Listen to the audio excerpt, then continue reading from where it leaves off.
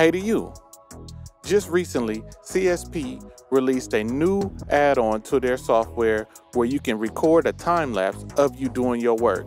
And in this video, I'm gonna tell you what I think about it.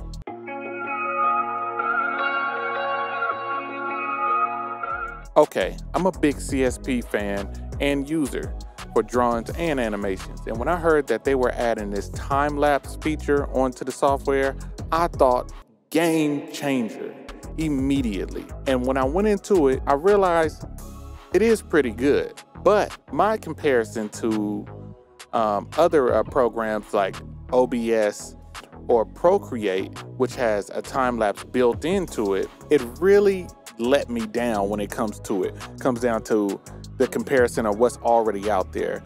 But when it comes to Procreate, I think that the time lapse that they record is a little bit better because it can stretch out what you're doing longer. Like I had to use about two to three videos for um, CSP compared to what I would use for Procreate. So if you think about it, not a big deal, right? Well, yeah, it is a big deal because in order to stretch that out, something that would usually be seven minutes long five minutes long. In CSP, it's only probably about 30 seconds. At the most, a minute I've seen so far. And that's with a lot of detail work. And in order to stretch that out and make it a little bit longer, maybe you want to do a speed paint video, you know, just show you you're you're doing the work, giving a little updates or whatever. You're gonna have to stretch it out.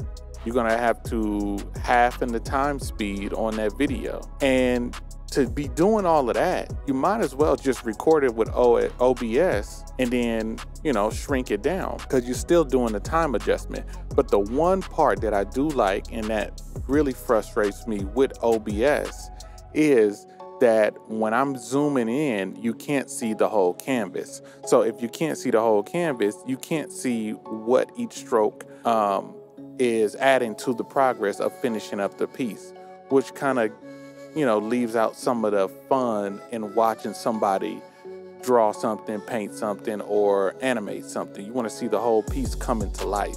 When it comes to those two aspects, I feel like they kind of balance out, but when it comes to how long these uh, time lapse recordings come out, it really is kind of disappointing. I thought they could have did better. I hope that they do better. This is the first version of them adding time lapse to the software.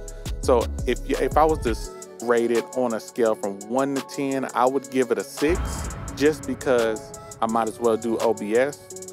Either way, it's pros and cons. With Procreate, they have everything in one, which is amazing. So I think Procreate still wins out when it comes to time lapse features on a built-in drawing software, but CSP did release a game changer. I just look forward to what it's gonna be in the future. And with that being said, I'm out, and as always, anime life forever. I'm to my mom.